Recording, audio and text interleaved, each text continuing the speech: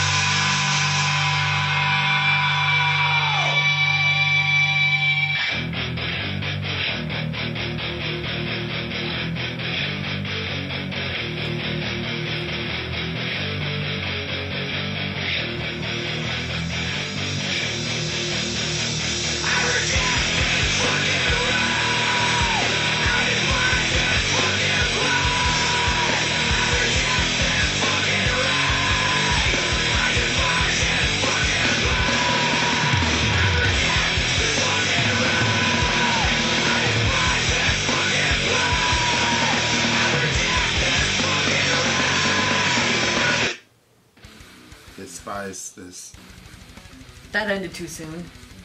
Yeah. Too soon. I always think it's interesting when somebody goes out of their way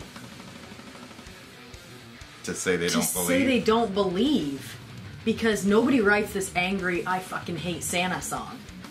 You know. you know what I'm saying? Like so I hate Santa Claus. Yeah, he fucking screwed me over as a kid. And He doesn't follow- answer you follow- you requests. followers of Santa. So I'm like, wait, hey, what is this? All this is it? It didn't seem like it was this long at all. Yeah, that's yeah, it. it is. Yeah, all that was there. Wow. Well, it, it, this was a very lyrical song. I was very surprised. Because Slayer usually isn't that lyrical, like that verbose. It's pretty. Yeah, th- there was a lot to a lot. To I say. love the rhythm. Business terrorist dog in the mark. He, he was. It was really, really good. What was the other one? Uh, I hate everyone Yep. equally. That's literally You- what I was just looking at. I hate everyone equally. You can't take that out of me. No second guess over it. Just me and my world out of night. Remember when I was saying with the Deicide song, I didn't like it because I couldn't understand the lyrics, and part of the lyricism part is part of the heaviness. Yep. Like this was like yes, like the lyrically it was heavy, and it went along with the heaviness of the metal. Like And I this feel like is the stuff point by I- point said all the things that was bugging him about God. yeah, and and didn't didn't see the uh, contradiction, the inherent contradictions in a lot of what he was saying. But yeah, like what? they never do. like what? Well, he's talking about. Um, there, I'm assuming he's saying religious is a man-made virus infecting the world, yeah. and he's he's complaining that it's a self-destructive human time bomb. That religion is a force for the destruction of the Mm-hmm. species. But at the same time, he says he hates his fucking I race. know, and he yeah. Well, then, if you hate the world, why do you care that religion is a species destroying the world? Well, yeah. You other, should be happy then. The other thing too was he was saying at the beginning um, about he was going to free them. Where is that? He said, "I'm going to instigate um, and free your Oh, free mind or something mind, like that." yeah. Um, and I'll show then- you what I've known all this time. Yeah, strive for peace with acts of war. The beauty of death we all adore. So I mean, he's talking about. I'm guessing, you know, what we talked about before, the holy wars and Well, I don't know. I think it's societal commentary. I mean, one of the, um, you know, "Don't Tread on Me" by Metallica. One of the lines says, "To secure peace is to prepare for war." uh huh. So that's always been an axiom of life that in order to ensure peace, you have to be a warrior. Mm-hmm. That's why people don't mess with me when I walk down the street It's true. because they feel like, Yep. you know. It's possible you'll fuck them up. Whereas, you know, if I didn't, I didn't project a certain type of militancy, right. people might might make mistakes. Right. No, it's true. It's true. That's why some of you get brave in your comments. Because you're not on the street with us. That's why you a you a keyboard warrior. You liar, you. You know what I'm talking about. Stop hiding. I, I had this. No, I'm not gonna do that. Um, but yeah, it's, it's it's you know he's talking about society, but God. Wait, no, I didn't finish. Oh, I'm He's sorry. talking about the freedom thing, but then like he does not sound like a very free person, full of all this friggin' hate. Well, yeah, that's why he says I despise this place. Yeah, like You know, he's trapped. he's yeah, he sounds like he's a but but I, that was the contradiction that I saw. Uh, dr- why did it say drones since the dawn of time? I didn't understand that. Well, a drone is basically like an automaton. Like a, you're you're just an unthinking And sheep. Sometimes I think so concretely. I'm picturing the drones that we fly. I'm like, what? We haven't had drones. Well, since the term the term drone has evolved linguistically, Oh, okay. right? So you know, Yeah. post post Obama, the term drone has taken on a, Right. a- an entirely different Right. connotation to the modern mind. But Yeah. prior to that, a drone was just like this mindless person who just went along with what people said. Compelled to live your sheltered lives. Uh, although with I love that, what what do you get? I love an American. I love somebody who was Oh. born and raised in the United States of America. Talk about shelter. talking about how sheltered people are. Yeah, that's true. This guy's been a rock star since he's been 18 years old. Like, Right. what the hell does he know about life? Right. Like real suffering. Right. Yeah. Please. Mm-hmm. Go ahead. What were you gonna say? Oh, I was just thinking about the um because of the way that I grew up and I remember people saying you guys are not part of the real world and stuff like that and I was like how offensive. We live in the real world. What are you talking about? And Yeah. now as I've as I've grown and I've experienced things, and I've actually found myself on the on the outside, and the church looking at me like I was, I don't know what you would explain that as. Probably how lots of people have felt, but um, Well, well, I, I mean, I, I don't know. I think even outside of the ecclesiastical bullshit, I just think that you've been exposed to the way other people live and the lives other people have had to live in Yeah. a way that you didn't you didn't before. yeah, and so I understand, you know, like what people meant. I don't think that they meant to be insulting by it. I think that they just wanted to say, hey, like, you know, wake up. Not everybody lives the way that you guys have lived. And Yeah. then over here, so I can see what he's saying when he says, you know, compelled to live your sheltered lives because, well, it can be very sheltered, it can be very self focused, except for like sending money sometimes to like other places where people need If help. you live never, if you live in America, if you're like born and raised in America, you've lived a sheltered life. Just take my word for it. No, I see what you're saying. I mean, you have, yeah. Just start looking at some of the stuff that's going on in other places. I mean, look, we didn't care about terrorism until 9/11. Right. That shit was going on all over the place. Oh, yeah. You know, look at Munich. You know, what was it 78? The, the the Olympics. You kidnapped those poor people and killed them. You know, like all this shit was happening all over the place. Then 9/11 happened to America. All of a sudden, we became very interested in terrorism. You know what I mean? Like, mm-hmm. you know, like we've been sheltered. We've been in a bubble. That's why 9/11 was so traumatic for Americans because we basically had to join the Israelis in being paranoid when you get on a plane or or a bus or whatever. You know what I mean? Like, but before that, we didn't, we didn't give a shit about what's going on in the world. Like, we were completely sheltered as mm-hmm. Americans. I'll show you what I've known all this time. Like he's he's like taking the Prometheus motif. You know, Prometheus was one of the gods who came down and and well, he wasn't a god, but he was, you know, he came down and and shared knowledge with with humanity. Yeah. Because the gods didn't want him to, you know, so he had this, you know, there's always this like stream of of this concept of the person who shares God's secrets with humanity. So you, the, the the serpent character in the garden, or the the Prometheus, or so he's like sort of like this Gnostic sort of I'll come down and share with you what I've known. But in this case, the secret is I think That Prometheus. The big secret was fire or something like that. I was thinking that. I was like, is it fire? And In this one, here's the secret. God hates us all. What do you think about that? That's a pretty crazy. Like I said, they named the record "God Hates Us All." Well, I think that he's. I because later on he says that God, God hates me or something like that. Yeah. So I kind of think that he's had these experience, and he also talked about God, like God's not going to answer your prayers and stuff like that. Um, which I mean, I know definitively is not the case, and God doesn't always answer the prayers the way we want Him to. But um, when I was little, I was like gonna have to be hooked up to dialysis the rest of my life for like every single day of my life. And these people told my parents they were like, "Well, we can pray over her, and you know, God might heal her." And my parents were like, "Okay," because my parents at the time weren't even Christians. And then they they prayed over me, and then I went to the hospital, and I was completely fixed. It was completely nothing wrong. My kidneys were supposed to be shot. They were completely fine. They were like they looked like brand new, awesome, whatever. So I, God does answer prayer. He doesn't answer every prayer. I mean, there's been plenty of prayers that I've prayed. Yeah, but but what about the the you know how old were you? When that happened? Yeah. Five. So there's a five year old somewhere in Johns Hopkins with leukemia, I know. and his parents were full of well, faith. no, I, And said he, he uh, doesn't answer all of them. Yeah, so that story that you told, which I completely believe, and I know that that's what happened to you. But what about the the five year what what about the five year old? Well, I think that that's what he's getting at because he lists off all these things that are happening. Yeah, so the kid dies of leukemia. You know, like you know, I always have like, you, you know, I, I believe, I, you know, I believe that that happened um, completely, and you know why I believe that it happened. Um, but at the same time, it's like, and this is probably a podcast thing because we're going to go on forever on the, on this. But you know, I've got a friend who, you know, I told the story in another video where he was going to kill himself mm-hmm. and he was loading up and he was just going to go to 7-eleven so he could get drunk so he could do the deed and he told god basically you know if you say something to me you know blah and then you know he was in line getting his beer and then the person behind him just randomly said hey you know god loves you mm-hmm. and I, I truly believe that God was beh- behind that whole situation. But Yeah. at the same time, so I'm glad, and my friend's alive, and he's doing great things and changing the world. But but on the other hand, I've had family members who that didn't happen for them.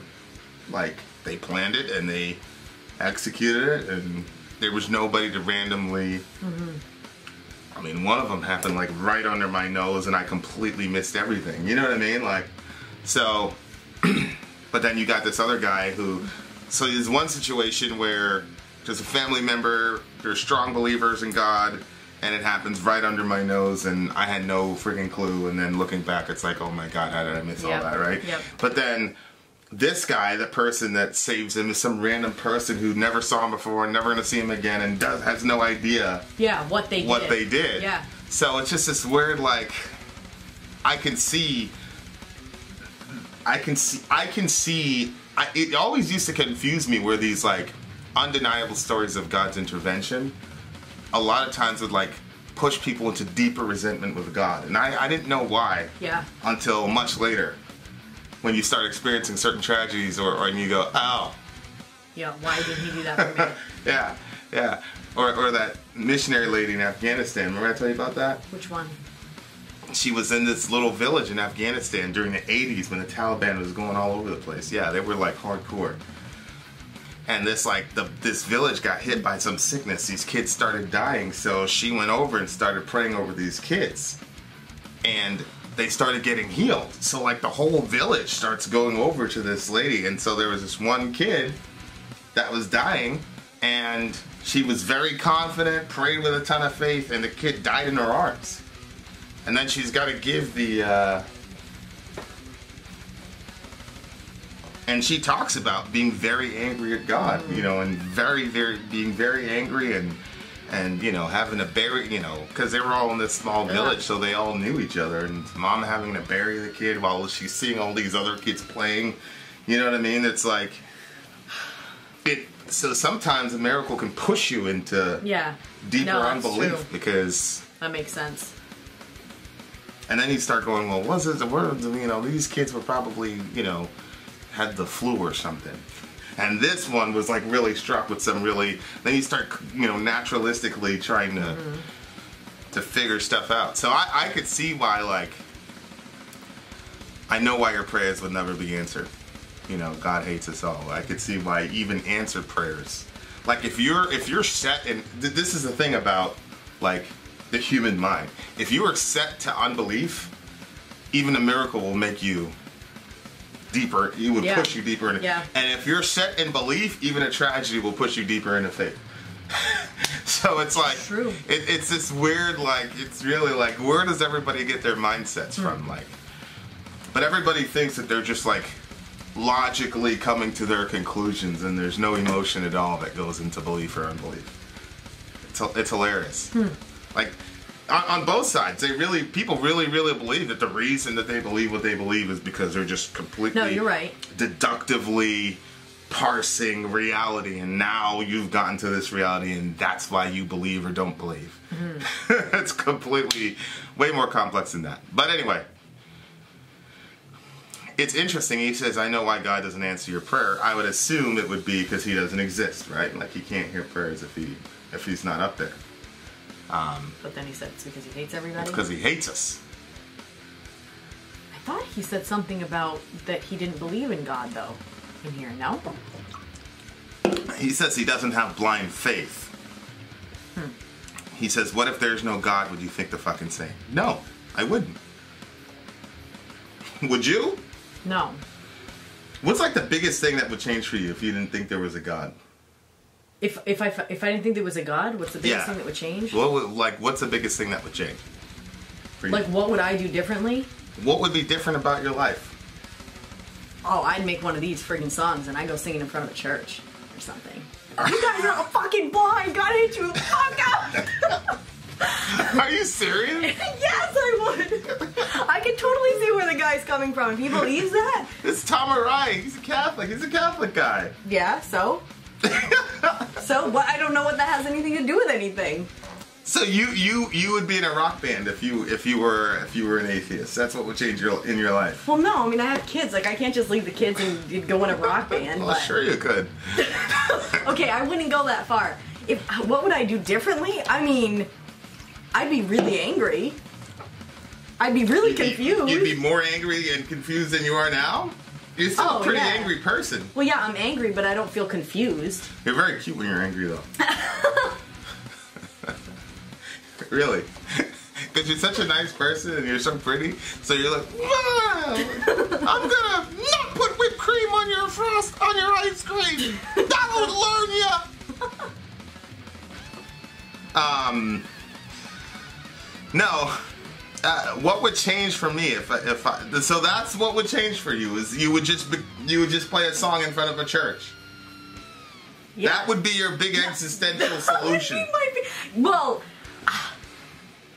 I'd be really mad at all the religious people Why? Why would you because care? they put pressure on everybody for something that doesn't exist. You'd be. What do you mean? See, if I didn't believe in God, I wouldn't. I wouldn't waste any time on religious people. You wouldn't. Not at. All. You wouldn't. I wouldn't. You wouldn't. I, I wouldn't talk wouldn't. to them. I'd say, hey, if that makes them happy, good for them. I'm gonna go off and. Not me. I'd want to shock them. All the time when you guys send these songs that you're like, this'll shock them. I'm like, I don't blame them. I would do the same thing. I'd want to send the worst possible song and watch us react to it. I'd be wanting us to be horrified. oh, I can't believe it. yeah. I would. That's what I would. Yeah. Yeah. I, I. Can't. So you would be one of those people obsessed with religion. Probably. Yeah. See, that's the Why thing. is that? You're, but that's the thing. You're such a religious person that even when you were not, even if you were non-religious, you would be extremely religious. Okay, so that's what's going on with this guy. That's go. That's what's going on with a lot of people. I mean, look at Nergal. He can't stay away from the Bible. Right. I mean, think about it. You know. So you're not a very religious person then, because you would just say, "Oh, no, if it wasn't for my firm belief in God, I would not be a very religious person. what would you do with your life?" I would. I would be the most. I would be the most self-oriented person you've ever met in your life. What do you mean? And if you, it would. Be the only reason you would be in my life is if you could, if you could benefit me in some way, shape, or form. And if you couldn't, that'd be that'd be it. Oh, so I'd still be around. Of course, I don't know what you'd be like. I don't know what you'd be like. Though. You'd probably be so. I don't know. In any world, in any universe, it would be it would be me and you for sure, for sure. but but uh, but yeah, it's it's an interesting question. You know, if there wasn't a God, like what would change in your life? How would you be different? well, I think that I would do this like I think I would do this like act out for a little while, and then I'd be like, "Wow, you look much happier. Let's just whatever." Yeah, yeah. That- I'm going to be thinking about that question all day. That's a deep because question. it is a very deep question. Of course. And I think I just gave like the little tip of the surface of what I would be like. yeah, it's, a, it's an interesting thought experience. Of course, the inverse is also true. If there was a God, would you think differently? That's for you right? guys. That's for you guys. That's for you guys on the podcast. Um, Do you know what? One time, I probably shouldn't even say this on the show, but I'm going to say it anyway. um, so one time when I was in a youth group, I went to this youth group, and um, they were like pretty cool. Everybody it was like cooler than my normal youth group. A cool And- youth yeah, group at it church? was cool. It was cooler, cooler than mine. Mine was like whatever, you know, like anyway. So I'm I'm drawing the story out. So they said, what would you um basically asked that type of a question. I can't remember exactly what the question was, but I remember that I said, "Well, if I if I found out that there wasn't a god, I would want to still believe in it because I don't want to live my life outside of that belief. Like I want to believe it." And like the room got dead quiet. And like everybody was like horrified that I actually said that. Probably because I was saying I'd rather just I'd want to be blind. Just let me live blindly and believe that Oh, there's a God. oh. Because I love God so much, I Yeah. don't want to believe like if I found out he wasn't there, I'd say, well, I'm just going to keep believing whatever pieces. Of, yeah. Yeah, yeah. And they were like horrified that I put those words out yeah, in the that room. level of self-awareness Yes. and and uh, yeah, because that's what they were all thinking. I was like, whoa, Yeah. I'm probably not going to get a date from anyone in here. yeah, good. Thank you guys. I appreciate that. Thanks for judging me so harshly. Well, anytime you tell religious people like the deep dark secrets that they think, you know, Yeah. they're so afraid to to look at any of these possibilities and go down those lines. And, And like, you know how really I am. When I say it, I'm like passionate about it. oh yeah, I know. I'm like, ah. So Yeah. I said it like, and they were like, Yeah. you, nobody knew what to say. I don't even think that they acknowledged the comment. I think they just Mm-hmm. Because went on to point three of That type of comment goes back to what I was saying earlier. People have belief and unbelief for reasons other than just logical deduction. And that's what you were saying. You were saying there's another reason I'm holding on to this faith, and it's not just because I'm logically convinced of it. Mm-hmm. You know, in this sort of post enlightened, post Aristotelian world, if you're logically convinced of something, that's the apex of of wisdom. yes, yeah. It's, That's, you know, yeah. logic and deduction is the apex of wisdom, and the other faculties of the human construction and the human experience. Eh, Well- who cares about that? I, I, I think you already kind of said this, but the reason that people hold knowledge up and logic up is because they feel like logic is apart from emotions. Yeah. For some reason, everybody's like, if it's emotional, it's bad. That means you can't make a, a logical decision, Right. which isn't necessarily the case. It can be the case, right. but it's not necessary. Well, I, what I love is like hardcore metalheads who walk around like the they're nothing but brains. Well, why do you They love do? why do you love such extreme emotional music if you're nothing but a, a brain with legs?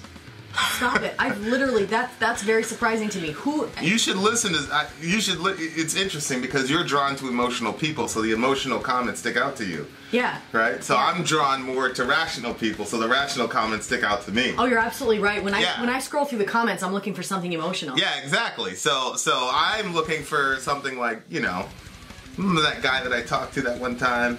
We talked for about an hour and a half, and nobody else understood what he was saying. Oh, yeah, yeah. Oh, yeah, I remember. Yeah, yeah. Good friend, really smart, literally the smartest guy I've ever met in my entire life. Just very intelligent guy. Uh-huh. Um, but yeah, it's like, well, you listen to metal, which is highly, you know, I was, I was talking to my counselor one time, and I was trying to act like I was some big, like, I hadn't, I had my guitar and I was just playing around with it, in the counselor, and he would, I was trying to act like I was just big logician and all this stuff, and he's like, well, how, how do you make any art with that with that uh, instrument? Oh, it's not logic. That's so cute. Of course, there No, is logic. can. Yes, it's not There all is logic, though. The reason that you can but make the reason- because of emotion. Yeah, the reason that you put those chords together in that sequence is because you have a certain emotion. Like you know, like if I put these minor chords together in a certain sequence at a certain pace, it's going to evoke a certain type of emotion. So, hello. Yeah. he got me there. I was really angry at him too. this meeting is over. I'm never coming back. I was like, actually. You're not just a brain with legs. That's so interesting. I would have never thought that metal people were like that. I would have thought that they knew that they were Oh, yeah. emotional. Oh, yeah. I love that. I love that they're emotional.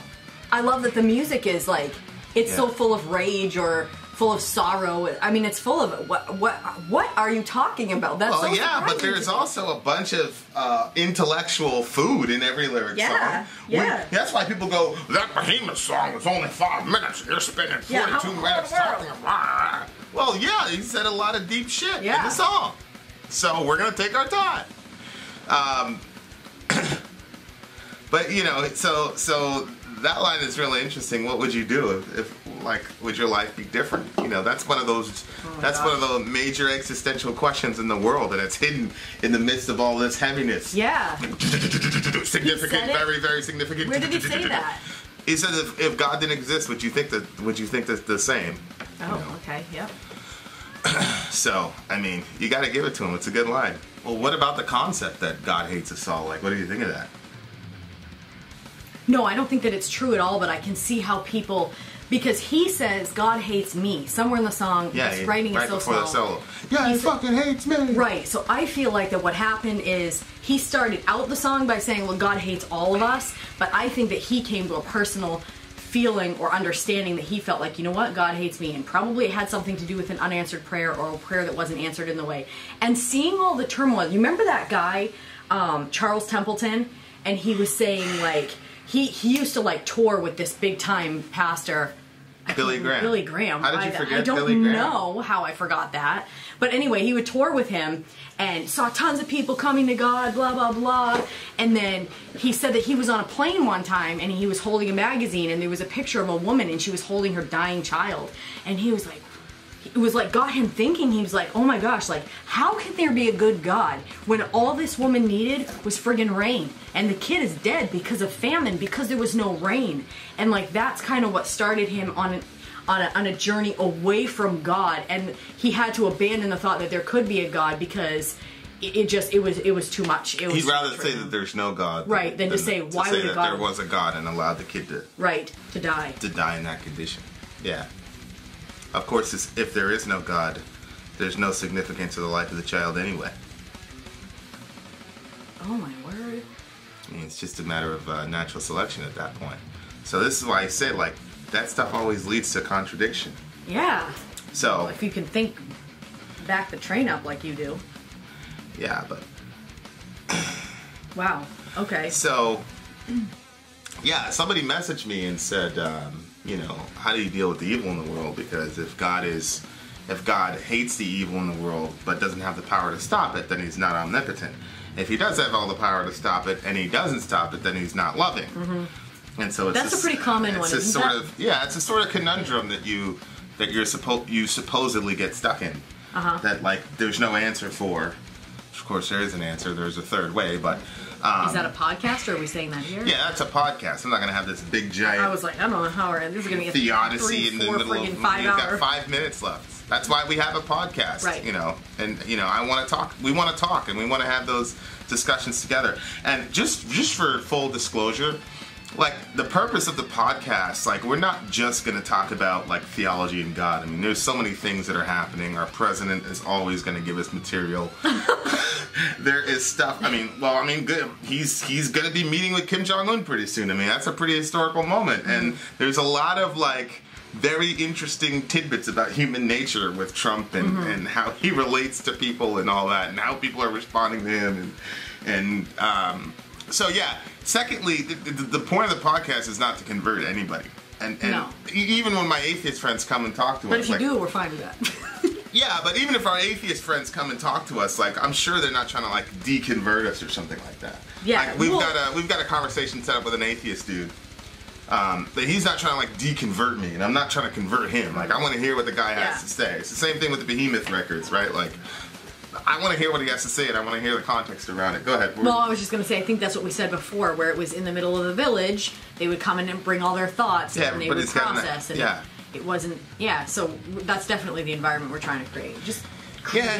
thought. and this weird concept of like a safe space, which I, I don't like the idea of a safe space because it cre- it creates this kind of idea where you know there's certain um, aspects that we can't talk about because they're going to offend another group of people. Yeah. It's not. So I, I don't I don't want to create that type of space. What I want to create is a type of space where we can't offend each other and not, and, and everybody comes out alive without a label, right? Because that's what's happening in our society right now is that we can, we're not allowed to disagree with each other. And I've got you know, there's so many, we're so tribalized at this point. If I'm in an atheist group, then I can't talk to the Christians. And if I'm a mm-hmm. Christian, like we've had people, you know, this is a satanic band. How can you listen to them and be a Christian? I probably shouldn't say it like that. They're probably really concerned. But I mean, the point is, I can listen to a Satanist and hear what a Satanist has to say without then becoming an atheist myself. Like, I don't, I don't think that atheism is. it, Uh, it's, it inspires us. yeah, I don't think atheism is a congenital disease. Like, I don't think by talking to them I'll meta- oh, there's no God. Uh, anyway, so I think we want to create a space where we can actually be unsafe. It's I, what I want to create is kind of like unsafe. yeah, I want to create a safe, unsafe space where like it's that's why people jump out of airplanes, right? Yes. It's because on the one hand you have like this terror, I'm falling, but on the other hand it's like not really. Yeah. not really. You know- but it might not open. So really. Yeah, yeah, like uh, you know, and that's what that's what we want to do. Like uh, that's what human beings desire. We don't desire like a, a, a this sort of monolithic Everybody gets a star. echo chamber. Nobody wants that, but also nobody wants the labeling and the ad hominem attacks No, and the right. name calling. We don't want that either. Well, I think that what it comes down to is having a mutual respect for each other. And wherever you get that respect from, we believe that we have respect for everybody because everybody was created in the image of God and by God. So we're That like, okay, means- then everybody, that means when I'm engaging you, I have to treat you as if you were God Himself. Right? right? Right. So, however So- you get your value for human beings, that's what we want. Make sure that you have value for each other, have value for us. We're gonna have value for you, and then we're gonna engage on that basis. Yeah, we're gonna disagree, and I Yeah, don't. You, you know, can I don't need to call you anything at Right. the end of it because you don't agree with me, Right. and you don't need to call me anything. Right.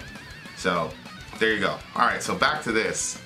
Um, you know what? At the end, I reject this race. I that could be God talking, not not him. Because in the song, he was saying God hates us all, God hates this race, God You know hates what? this You're place. And at the end, I reject this place, I reject this race, I reject this place. So I think he's he's saying, you know, this seems to be a very interesting song. What do you think he means? Okay, he says, I hate everyone equally. You can't tear that out of me. No segregation, separation. No segregation? Yeah, well, you know, you know that I think Marilyn Manson coined the term like I'm an equal opportunity hater. Okay. Like I hate everybody equally. Equally, you yeah. know? Because it's it's the irony of we're supposed to love everyone equally Uh-huh. or treat everybody the same. So is he saying no segregations like the whole blacks, whites thing? We're not just segregating. Yeah, I'm not gonna- Now I'm- we're saying I'm just separate from everybody. Yeah, I'm not gonna segregate. I hate black people. I hate white people. I hate everybody. You Mm-hmm. know, I hate society, Well, yeah, because he says I hate the fucking race, which is one. the human race. But he's that like, whole- oh, yeah. everybody. Yeah, yeah. Ben Adam, the children of Adam. Yep. Yeah, he hates he hates us all. Yeah. This is an interesting, but to me, this song is is a very um, the level of self awareness is, is is cool because what he's saying is he's hostile to God. He's not saying that God doesn't exist for the most part in the song. He's just saying he's hostile to God, and the reason he's hostile to God is because he believes that God is hostile to him. Which, biblically speaking, it actually works the other way around. You know, in First John it says, Yep. "We loved him Because he first loved because us. he first loved us." Uh-huh. So if you have a concept of God that He loves you, right, Mm-hmm. then you love Him. But if you have a concept of God that He hates you, then you're going to hate Him, Mm-hmm. right? Because you know it works the other way. We hate Him because He first hated us, right? Um, Wow. Which then has a ton of implications on how you present God to the world. Yep. So if you present God to the world as somebody who hates your guts and he hates you and, and all that, even when you make a convert, you make a convert who secretly hates God, but just, is just scared of Yep. him, which is which is kind of like you. All right, uh, so, so um, but yeah, it's just very you know like those Westboro people, Oh yeah. the people that Oh, protest that. At, look how miserable they are. Oh yeah. And you could tell, like, there's no love for God in their hearts because they don't have any pity for anyone. But that's because they believe that God hates everybody. Yeah. And that God hates them. So you become whatever you worship. So if you worship a hateful God, you're going to be a hateful person Why do they think God hates them though? They're doing what they think He wants them to do. because they they don't relate to God as like a father and a son or a daughter. They relate to God as he's a drill sergeant or whatever. And as long as they're walking within line, then they're okay. But if they step out of that, he's going to blast them. I wonder too if it's you know like the secrets of your own heart. So they can walk in line outwardly, but inwardly they know their own downfalls. And so if they believe that God is angry like that toward even the slightest thing, then He would be angry with them even though they're doing that. Well, it's interesting, like, you know, when me and you read the Bible, we read the Old Testament, and, you know, I'm just describing what's on the page. And you go, oh my gosh, that's such a, that's such a beautiful understanding. I like the way that you look at God. I'm just never reading. seen- I have never. I'm just reading. way. I'm just reading the passage, but you have this conception of God that He's like, that He's always mad at you, and He's very exacting and and and very like, you know, Not God's spirit though. The spirit when he was introduced in the New Testament, I'm like, oh, he's a nice guy though. yeah. But the God of the Old Testament it was always a He's much nicer in the Old Testament than in the New yeah. You always say that, but nobody sees it that way. And then when What do you mean nobody sees it that way? lots of people don't see it that way. It, it, look, it, everything is on the table in the New Testament. In the Old Testament's kind of like, oh, all right, you, make, you know. New Testament's Nobody, like, nobody listening to this is going to even see what you're saying because they're going to say, "No way, he killed tons of people, men, women, children." I've heard pe- people make all these comments. They say, "Oh, he killed everybody. Rape is okay. Slavery is okay." rape is okay. That's why you get the death penalty. Well, I know. I don't know why people are saying things like that, but that's going to be another podcast thing. We're going over that. We're going to get these So, I mean, there's some stuff that I'm like, okay, that's not God. That's wrong. God doesn't think rape is okay. Go- Okay, so like, yeah. But at the same time, I'm like, What do you give the song? eight and a half. Eight and a half? Eh, seven. Give it a seven. I liked his honesty. I like the honesty. I feel sad for him though, but Look, I think Kerry King wrote these lyrics. Yeah, Jeff Hanneman yeah. and Kerry King wrote these lyrics. So it wasn't Tom Araya. The singer is a Catholic who believes in God. How could you sing this if you were that? Well, you're in Slayer. I think he knows that this version of God isn't the real God anyway. That's one of the reasons Or maybe he secretly felt like some of that. Maybe he felt like some of that, and That's he true. couldn't say it. So then, you know, people come after him and like, "Well, I didn't write the song." I Yeah, there's there's a story in the Bible of like a guy who's like super religious, and, and then he's got another brother who's not very religious at all, and at the end it comes out that the uh, the super religious one really didn't like God at all ever, and then the the the bad one actually ends up being the good guy, which Jesus does that all the time. But we'll talk about that another time. All right, guys, so that's a seven. Uh, was it a seven for me? Yeah, and I gave it an eight and a half. An eight and a half for you. All right. Well, there you go. Slayer, Disciple, podcast, all that good stuff. Vin out. Sori out. Gone.